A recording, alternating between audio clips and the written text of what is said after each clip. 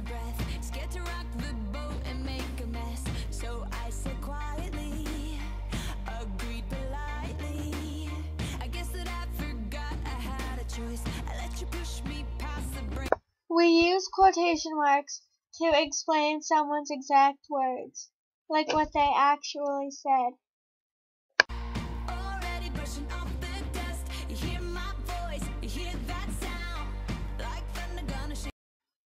We use quotation marks after the word said, in the beginning of a sentence, or we kind of like split the quote in half.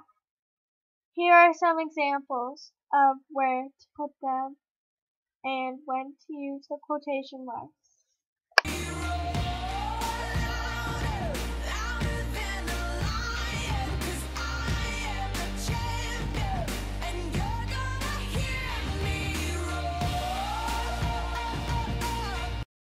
first example, the quotation marks go after said, but um, there's also a comma after said because it's kind of like a warning that a quote is coming soon, like right after it. So that's what you do for example 1.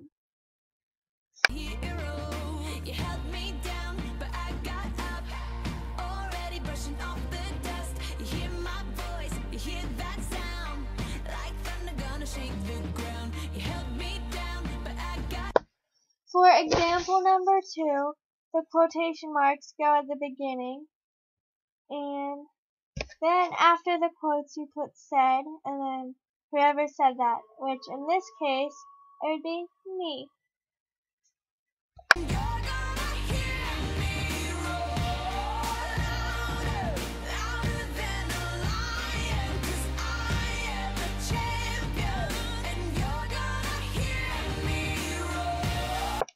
Example number three is special.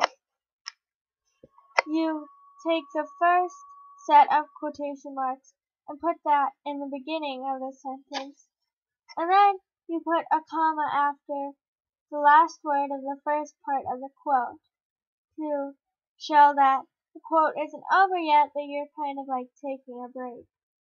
Then you put the second set of quotation marks, and there will be four in total. So you put the second set of quotation marks after the comma. And then you put the person's name that's saying that. So mine would be Sarah Ann. Then you then you put said because that's obviously what you're saying.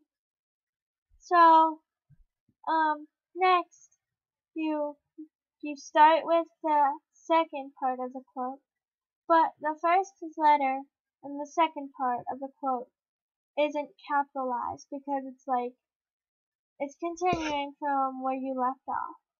So you don't capitalize that and then you just put the punctuation inside of the quotation marks and that's basically all you have to do.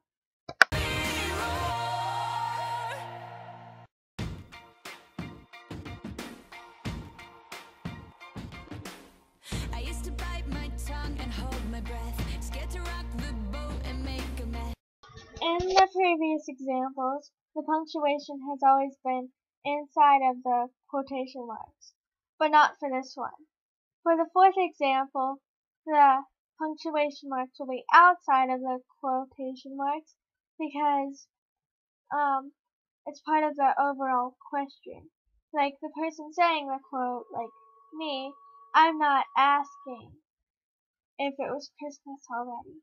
The person saying the whole sentence is asking the question, not the person saying the quote. And I know that sounds a little confusing, but yeah, I think I kind of explained it right.